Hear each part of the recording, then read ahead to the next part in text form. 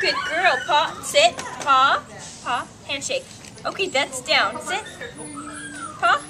Good girl. Good girl. So this is Whitey. Down. We we're calling her Whitney today. girl, Her yes. number is A4178592. A 10 month old spayed female tan and white lab girl. retriever mix whose owner brought her to the shelter uh, to surrender for adoption on May 11th because they said it was too expensive to have a dog. We cannot imagine ever giving up this girl. She is quite friendly, she's smart, she knows tricks, sit, paw, shake, down, just like she showed you right now. And she's just an amazing, she's gonna be an amazing family dog. She's great with people, great with other dogs.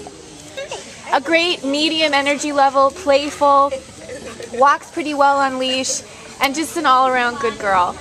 We think she weighs 30, maybe 35 pounds, and is going to make a wonderful addition to a private home. So, this is Whitey, and she's available for adoption at the Baldwin Park Shelter.